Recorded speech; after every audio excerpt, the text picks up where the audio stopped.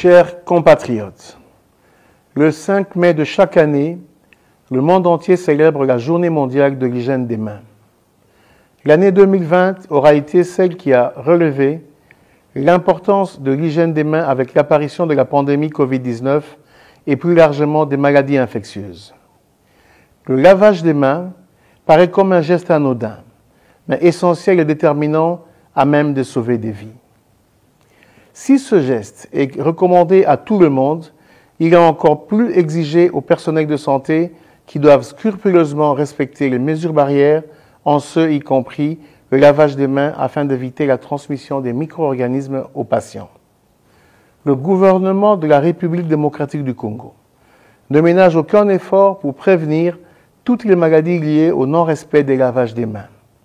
À ce titre, il a plu au président de la République démocratique du Congo, son Excellence M. Félix Antoine Tshisekedi Chilombo, chef de l'État, et au Premier ministre, chef du gouvernement, son Excellence M. Samalou Kondé Kienge, de consacrer l'hygiène et la prévention au grand ministère de la Santé publique, Hygiène et Prévention.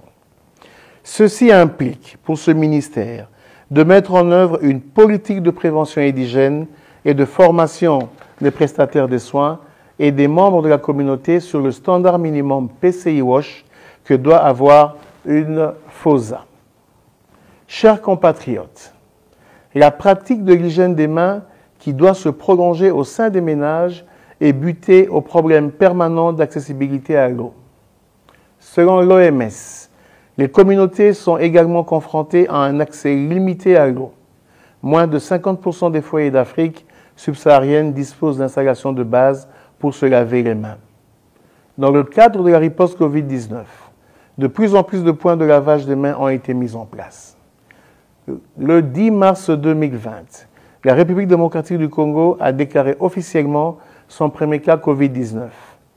À ce jour, la RDC, notre pays, compte plus de 29 083 cas confirmés, un cas probable, dont 748 décès, avec plus de 70% dans la vieille province de Kinshasa. Chers compatriotes, d'après les données recueillies lors de l'analyse épidémiologique faite par la surveillance, 75% des cas sont des contaminations familiales, 20% en milieu de travail et 5% dans les structures de santé, c'est-à-dire imputables aux infections nosocomiales. Pareillement, les études réalisées par les experts de l'OMS ont montré que près de 60 à 70% des infections nosocomiales passent par les mains. Par conséquent, la mesure la plus importante pour prévenir les infections nosocomiales demeure la pratique de l'hygiène des mains pendant les cinq moments critiques, à savoir avant un contact avec le patient, avant un geste aseptique, après une exposition à un liquide biologique, après un contact avec le patient, après un contact avec l'environnement d'un patient. Chers compatriotes, je profite de cette journée mondiale de l'hygiène des mains pour inviter les partenaires du secteur privé, innovateurs scientifiques et communautés à soutenir le programme national eau, hygiène et assainissement initié par le président de la République, son Excellence Félix Antoine Tshisekedi Chilombo, en investissant dans l'accès à l'eau pour les établissements de santé comme pour les ménages. L'hygiène des mains est l'une des mesures les plus efficaces pour réduire la propagation des agents pathogènes et prévenir les infections, en ce y compris le virus Covid-19 et la maladie à virus Ebola. De ce fait, je lance un vibrant appel à l'ensemble du peuple congolais d'adopter la culture systématique de lavage des mains pour éviter les maladies hydriques. Que vive la République démocratique du Congo. Je vous remercie.